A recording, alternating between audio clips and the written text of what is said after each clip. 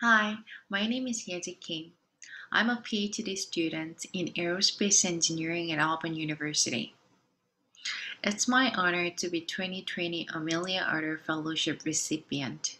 Thank you so much for this incredible support. I'm currently studying in the planetary science field, primarily focusing on small bodies like asteroids and comets or belt objects because they are crucial elements to understand the current formation of our solar system. The point of my work is that by using engineering skills like programming that I've learned in the aerospace engineering major, I'm exploring the scientific questions that we have in space. There are so many unknowns in space, so this kind of numerical techniques are getting critical in this field. One of the unique characteristics of the planetary science field is that it's not competition-based work, but the most cooperated work. I'll give an example. Imagine that if this asteroid is coming toward our planet Earth, is it a problem for one country or one specific group of people? As you know, both are not. This is our problem. So, for better preparation, all countries have to cooperate with each other by sharing observation data, scientific data, and talking about international response strategies. And this kind of unique feature of the planetary science field constantly fascinates me and lead me to contribute to space science.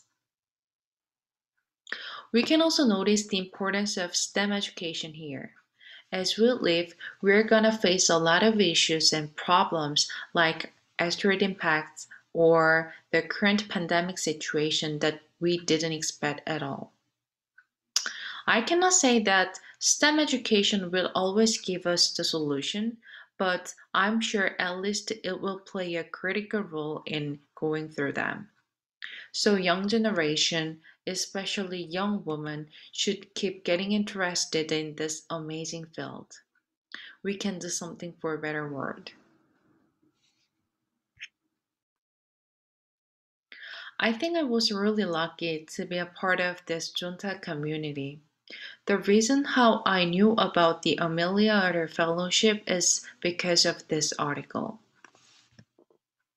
The story about those two previous recipients.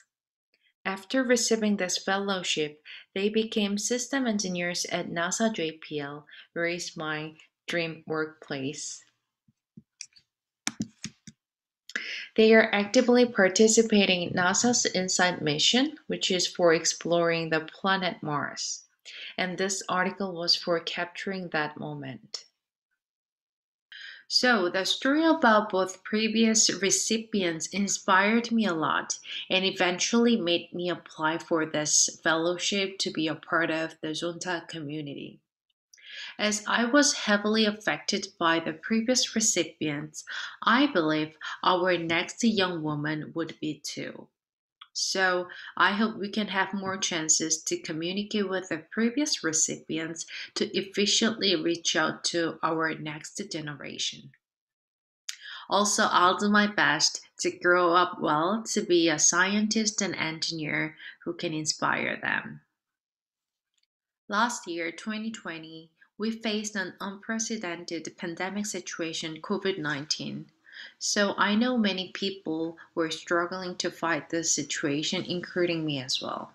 I hope in 2021 all situations are getting better and also hope all Zontians will be happy. Again, I really appreciate this incredible support and thank you so much for the District 11's warm welcome.